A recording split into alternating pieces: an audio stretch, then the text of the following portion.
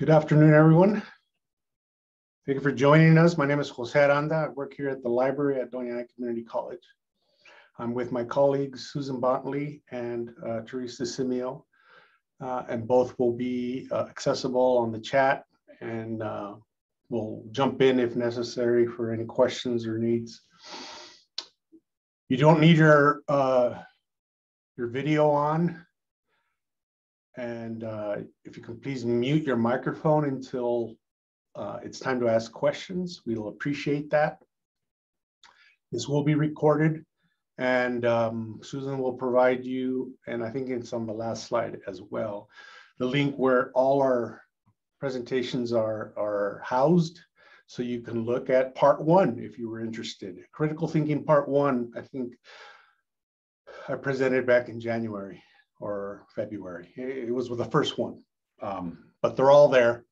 Uh, and you can um, visit that website and review them as you wish. Susan Bontley will be um, monitoring the chat though. So if you have any issues, any questions, feel free to use the chat and uh, we will begin.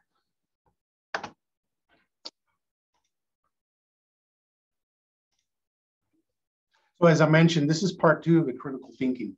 Um, so I'm going to talk about different things. Um, when I first created this presentation, there was just a lot of information. So we decided it was best to uh, divide it into two presentations. And so this is the second one. And actually, this is the last presentation uh, for the semester. Uh, we are going to be working on providing some themes and topics for the summer, like we normally do, and then of course in the fall. But uh, we do welcome you to visit our website. If you can see on this slide, on the top right corner is our contact information. And on, from that website, you should be able to find where all our presentations are housed. Uh, we've been doing this for uh, several years now, so we have quite a, quite a bit of them. So this is part two of critical thinking. The objectives are three. Okay, we're going to talk about fallacies, uh, weak arguments, and how to improve your arguments.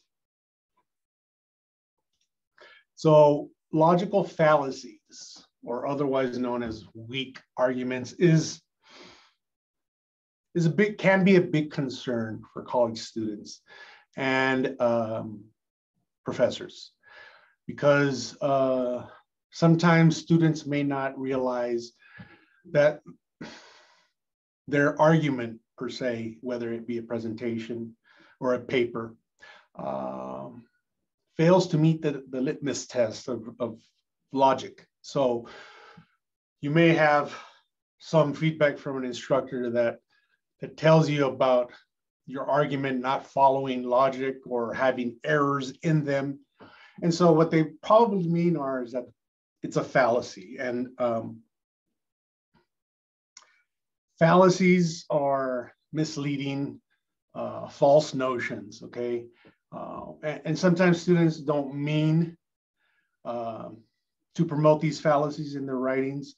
Uh, sometimes these are uh, promoted online, and so when they search for information, they may come across some of these and think they are accurate. So that's why this is the first one. Uh, I want to highlight that this is a, this is a skill worth spending some time on, especially when thinking about critical thinking, right? You can't achieve critical thinking if the foundation, if the premises that you're trying to argue are, are incorrect.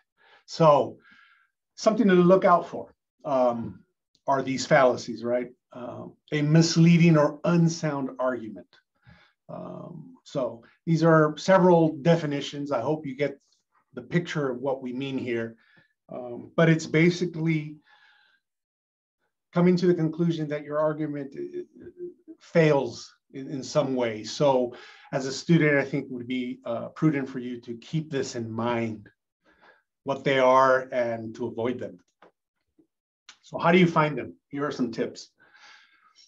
One way is to pretend that you disagree with the conclusion that you're trying to write, right? And concentrate on the parts of your argument um, I'm sorry, one way is to pretend you disagree with the conclusion you're defending. And that way, you kind of turn the table and see if your argument is, is solid or not. Uh, it's kind of like the opposing side. Uh, we, we, we have a resource that's called that and we promote it highly. Uh, it is um, an excellent resource and a skill for students to learn to, to see what the opposing side is thinking to better their argument. So one way to find a fallacy is to pretend after you've written or you've uh, produced your presentation is to um, play devil's advocate, if you will. Pretend you're disagreeing and see how that looks for you.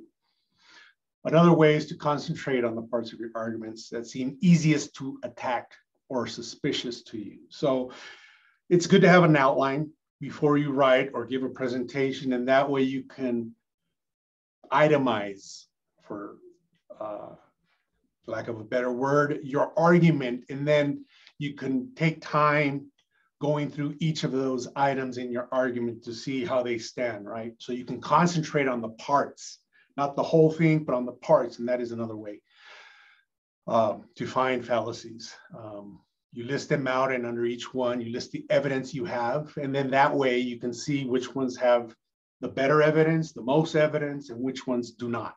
So that is a way to find fallacies, right? You want to check your evidence to make sure you have enough support for your claims, and that's I think the uh, big picture for critical thinking, right, is to make claims that are well supported by credible resources. So a lot of different parts here that I'm throwing out. Um, we've presented on several of them. I invite you to take a look when you can at our website on all of the all the other presentations we've given. So this slide uh, was giving you some tips on how to find these fallacies because it can be difficult, right, for students, especially when they're stressed, uh, they're inundated with a lot of homework or the research, or they're nervous about the presentation of their final paper, that they can miss some of these things that, that can be very uh, crucial in finding these fallacies. So these are some suggestions. And a couple more. Avoid making broad claims. It is uh, an important skill uh, for students to learn. Um, that you may have gotten away with that in elementary or middle school, but um, when we're trying to think critically, you need to be careful of the words you choose. And so making broad claims is, is a quick way to be discredited, right? Because it's it's rarely all, right? So avoid words like all or no one, ever, every time, always. Those are words that are uh, that should be carefully used uh, and rarely used, right? Uh, it's better to use uh, more specific words like the ones that are listed here, right? Some, many, some may, sometimes, usually. That way you don't make the claim of everyone. You, you, you, you're more specific that sometimes this could happen or this may happen. So uh, it's a play on words and it's a skill students uh, should learn how to do. Uh, but it takes practice and it takes time. The last one is keep your characterization of others, especially those of your opponents, especially if you're uh, arguing against another team, another person. Make sure that your characterizations are accurate and fair. On the previous presentation, I, I don't remember which one, but I know I mentioned that when you argue, you want to attack the argument, not the person making the argument. And I know in today's world can be difficult because we see a lot, especially on cable TV or on the internet, a lot of personal attacks, especially by politicians and, and so forth, right? So um, most of the times those are intended to uh, stir emotion in the audience. So they're not really they don't really care if they're accurate or not. They just want to instill that emotion on that reaction from the audience. So, but as a student, uh, we need to learn how to be critical thinkers. And so we need to be uh, considerate, firm, but also fair with people. Uh, any opponents that you have, uh, attack the issue, attack the argument. Don't make it personal. So moving on to the second um, objective is well, what kinds of weak arguments you, uh, are there? So we, we started with fallacies. There's something wrong with your argument. And now we're moving into having a weak argument. So another difference, but in the same ballpark. Um, so you may be criticized by your professors about having weak arguments. So here's some. There are many, many, many, many examples.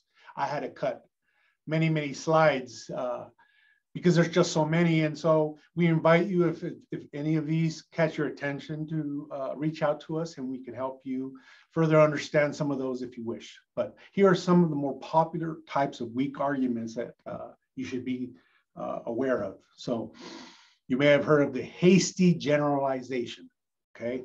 Um, when I think of hasty, I think of Romeo and Juliet or Shakespeare, uh, because that word haste was, I remember uh, learning about it in, in, and we don't, we rarely use that, you know, it's still a, an appropriate vocabulary term in the English language, but it means to hurry up, right? So be careful about the assumptions you make. Uh, you may be rushing to conclusion, right? So that could be an example of making a hasty generalization. You failed to take the time to do the research, to take into consideration maybe other factors that may influence, right? So be aware. The other one is missing the point, okay? Just you're off target, okay? You may have an argument and um, you tend to uh, drift from what the premise of the argument should be. So that's what missing the point means, right? You're, you're going off on a tangent. So be careful of that. The third one is post hoc or false cause. Sometimes two events that seem related in time aren't really related as a cause and a, uh, as a cause and a, uh, an event or correlation. And I'll talk about those momentarily. But this is this could be difficult uh, at first to identify because the events are very similar. There may, there may be factors that they share that uh, could make it so, right? But one needs to be very careful and critical, right? Look at the details, take your time, be patient, uh, gather all the evidence, look at all the factors. Don't don't rush, right? Don't be haste, hasty.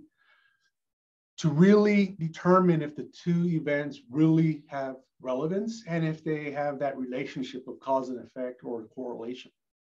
So this one's a good one. Uh, and I'll explain more about some of those uh, in just a minute. The fourth type of weak argument is the slippery slope. This you may have heard um, on the news or in your classes happens when a claim that a chain reaction usually ending in some kind of dire consequences will take place, but there really is not enough evidence for that assumption. So again, it's kind of like jumping to conclusion. It's kind of like um, assuming that events do uh, are relevant and do uh, cause this this uh, consequence, but in reality, there's not enough there's not enough evidence for that. So be careful of what kinds of claims you make to make sure that they are in line with your argument. And like I said, that are well supported with credible evidence. So that one's slippery slope. And the last one is just a weak analogy. Analogy is an example, right? When you're trying to explain something to someone and you want to use an analogy, which is an example, for instance, right? You may hear that. For instance. So when you give an analogy, it should help your audience to better understand what you're trying to explain. But sometimes, if it's a weak analogy, it fails to do that. So sometimes students may encounter this in their writings or presentations, right? They're trying to compare things, but they're really apples and oranges, something like that. So keep that in mind. Again, we invite you to contact us if any of these don't really make sense to you. We have lots of information and resources to uh, recommend to you. Um, if that's the case and if you so wish. I'm going to pause right now to see if there are any comments or questions. I'm looking None. at the chat. I'm sorry? None. No. Okay. I'm looking at the chat. Uh, Susan is, is, is posting uh, website uh, links to various things or websites, uh, the, the library's website, and probably uh, the link to where all our presentations are held. So that is good. So now we're going to move on to causes and effects, causes and correlation. I'm sorry. Um, and what are they? And you may have instructors giving you assignments or that deal with this or uh, expect you to have this in your writing, right? Because it requires critical thinking for you to identify something that relates and leads to something else, okay?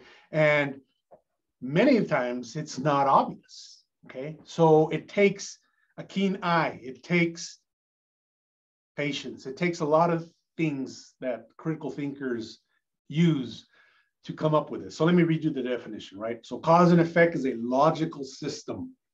Okay, it has to make sense. We've already talked about some of the examples in the previous slides of those that do not make sense, where they fail. So we, we want to make sure you cover that part first. But a cause and effect has to make sense, and then it proves, right, with evidence that it happened, that something happened. So um, if you guys are fans of of police drama or detective mysteries or that sort of thing kind of that realm right you got to prove that something happened and, and, so you need the evidence to prove uh, of course uh, i'm not we're not talking legal or criminal justice here but as an example right? So that's the kind of thinking you want uh, to have you know how can you prove that something happened? Where's the evidence and so forth? And where's the, the, the reasoning with that? So let me read you the description here. A cause and effect paper, okay, it could be a presentation as well, as I've been saying, answers the question, how did this happen? So I teach history uh, part-time, and this is a common question we ask in history, right? Why did such and such an event or uh, person affect so-and-so? So how did it happen? Uh, effective causing and cause and effect analysis can be written on personal topics, perhaps by asking yourself uh, why, why you happen to do something. Although many undergraduates cause and effect papers may examine larger topics and subjects. So be cautious about addressing cause and effects that are a global or historical nature. Work, rather work towards a logical and coherent analysis of more manageable subjects. So we talk about in libraries helping students uh, narrow or broaden their, their focus or topic. So this is um, an example of how this can continue on into the writing or, or the final product, okay? It needs to be make, it needs to make, make sense and answering the question needs to be revisited continuously uh, sometimes, again, students could be fixed on a certain aspect of it and they're excited and they're writing and writing and arguing on that. And then they forget to revisit the question. So they may experience some of the things that we've already covered, right? A weak, a weak argument, stuff like that. So it is important to continuously, as, as you're writing, um, to look back at the questions you see and ask yourself, am I, am I covering this as best I can? Am I answering the question? Is it making sense? And the last part here, correlation, okay? Two events, what are the correlation? Is the relationship. So you need to identify how those two things relate. Um, when one variable changes, the other one changes too. That's the correlation, right? So I don't want to get into scientific method, or you may have some instructors or classes that go much farther into this type of uh, teaching or, or thinking. This is, I'm just covering the surface here of sometimes you need to prove cause, cause and effect, and then correlation, two separate things. But the last line here I think is important. Causation is correlation with the reason. That is, that is, I think, uh, the epitome of critical thinking, right? Because you've taken into account the evidence, you are using logic that makes sense, and now you're establishing a relationship and cause. And so that would really, uh, for example, at the conclusion of a paper, really, really um, finish the process um, nicely, uh, in my opinion. And I'm, and I'm probably not explaining that well, but I think if you go through right cause and effects and then correlation then at the last you're able to explain it all. It really sums it up well. That's the word i was looking for. So cause and effect and correlation. And last but not least how to improve your arguments. Um, I've given presentation on how to how to make outlines, how to take notes. There may be some, I know there is some great information in those presentations and slides that I may have touched already on how to improve uh, arguments, but here's some that deal with today's presentation. So the first one is use effective premises. What are premises? At the bottom, you see the asterisk. A premise is pretty much your position, right? You're explaining a position that you support or a conclusion. So when you use effective premises, that is starting your argument on solid ground, right? Because the opposite would be not on solid ground. If you had weak premises, okay, you're not explaining your proposition well or you don't support it well, then you're starting with a weak premise. So it's very important to have effective, strong premises that are both true and relevant to the issue. Okay, so keep that in mind. If they're not true, then they are no good for you to use in this context. And if they're not relevant, then what's where's the logic, right? So I hope you're seeing the, the pattern here, the thinking that we're trying to uh, promote of critical thinking. Uh, it needs to make sense, it needs to be valid, it needs to be accurate, it needs to be well supported, okay? Another, number two, how to improve is uh, make sure your premises align with your conclusion, okay? Again, that's that going off on the tangent thing that we need to be mindful of. Uh, it's okay to go on a little tangent as long as you're able to come back to your point, maybe after one example, but not more than that. You want to always stay with your premise and the conclusion, which is when you're wrapping it up, you want to make sure that that aligns as well with your premise. So think of the introductory body, introductory body and conclusion, right, of a typical paragraph or paper. So you want to make sure that whatever you said you were going to do or whatever you introduce in the introduction is well summarized in the conclusion. Number three, check that you have addressed the most important or relevant aspects of the issue. And the only way by doing this is by doing the research okay? Because it's during the research that you're exposed to a variety of information, resources, some better than others, etc. But you will discover what else is relevant, what are the meaningful factors, for example. So, especially for certain issues, uh, it's it's highly important, you know, that you address certain factors. So, so for example, the pandemic, right, with with COVID nineteen. Um, there are a lot of relevant issues for that, right? There's wearing masks, there's vaccinations, etc. It's all relevant, but a new one that just came out that I found out is, is ventilation. So uh, some could be more popular than others, but still, the, the, the key here is to make sure that you address the most relevant aspects of the issue and the, of the issue. And, and the only way to do that is if you're well read, well researched. So you need to ask probe, discover. Okay, and we can help you here in the library do just that. And the last one, do not make any claims that you cannot support.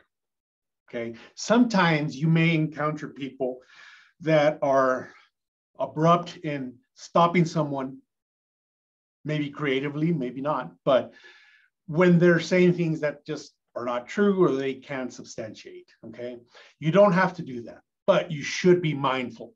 You should always be mindful of any claims you make. A claim you make should be able to be should be able to be uh, referenced by credible resource and evidence that supports it. And, and we've just we've talked about that in previous presentations, right? You want to cite your sources and stuff like that, right? Use in-text citations.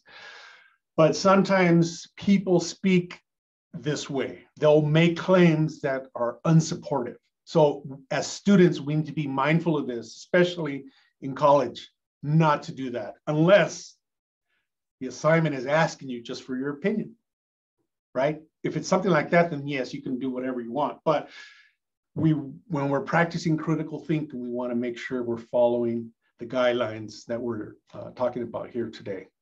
So, any questions?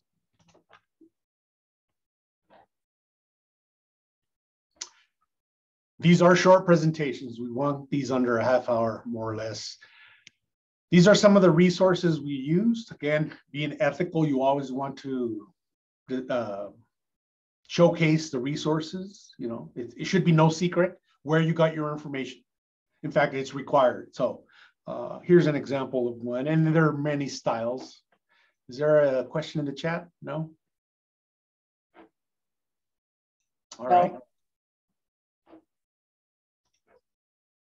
So uh, I invite you to to browse through some of these resources if you uh, so wish, or if, again, like I mentioned, if you are in need of additional information, you want one-on-one -on -one service, get a hold of us and we'll be glad to help you. And this is how you can reach us. We're available through the telephone, email. Uh, we'll make an, um, a meeting through Zoom if you wish. And we also have chatting from our website. All you can find uh, or you can come in person, right? Monday through Friday to five at our locations at Espina and, and East Mesa campuses. We're here, we're available for you. We want to see you succeed. So get a hold of us, please.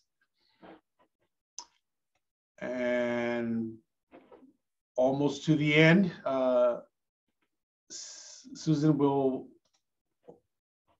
post the link to a survey that we invite you to fill out, please. We use the information from these surveys to improve our presentations. And if you have a topic you'd like for us to explore or give a presentation on, you can also uh, include that information in it too. But in summary, we've talked about quickly uh, what fallacies are, what weak arguments are, and how to improve your argument, all in, within the context of college student work, right?